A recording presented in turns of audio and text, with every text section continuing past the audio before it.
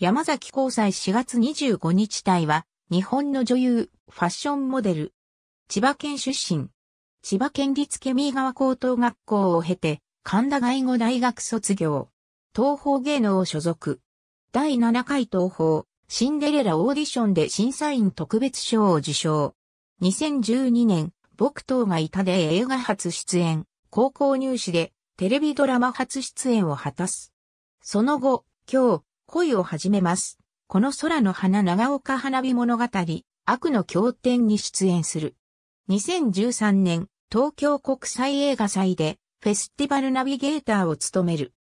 2012年から明大ラグビーファイクラブの公式イメージキャラクターを務めており、2013年度の第50回全国大学ラグビーフットボール選手権大会のイメージモデルにも起用されて、セカンドステージ及びファイナルステージの各試合終了後のインタビュアーも兼任した。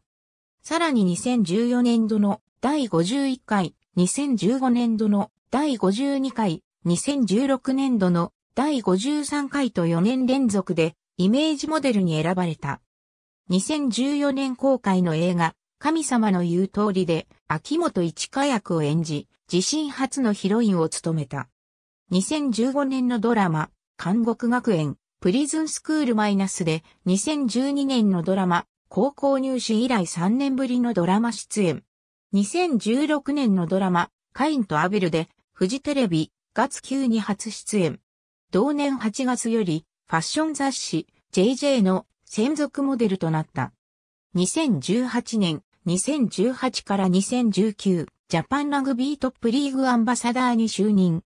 2018年12月12日、ポール W.S. アンダーソン監督、脚本、ミラ・ジョボビッチ主演の映画、モンスターハンターに出演することが決定。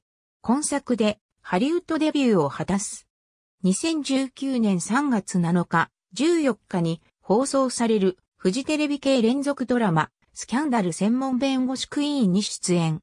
世にも奇妙な物語2017年シニアの特別編以来、約2年ぶりテレビドラマ出演となる。2019年、平成物語なんでもないけれど、かけがえのない瞬間で連続ドラマ初主演。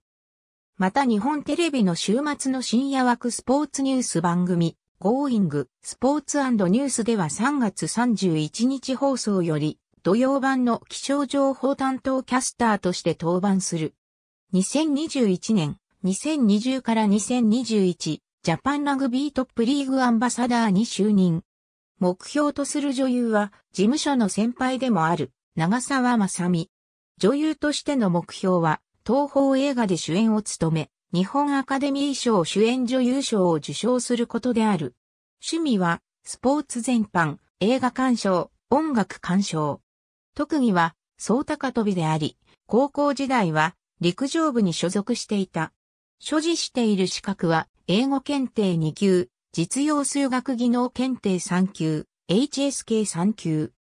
自身が審査員特別賞を受賞し、デビューのきっかけとなった東方シンデレラオーディションには、山崎が友人と映画館に行った際に、オーディション用紙を見つけ、賞金が100万円ということを見た友人がオーディションを受けるように勧めたことで応募した。